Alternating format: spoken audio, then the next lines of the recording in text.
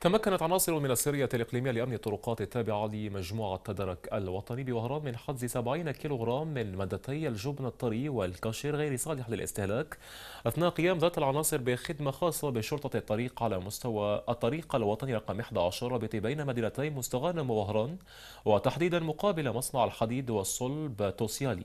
حيث بعد الاشتباه في مركبة تجارية تم توقيف صاحبها ومراقبة الوثائق الإدارية والأجهزة التقنية الخاصة بالمركبة. وبعد إخضاعها للتفتيش آه، دقيق تم ضبط على متنها حوالي 10 كيلوغرام من جبن الطبخ منتهي الصلاحية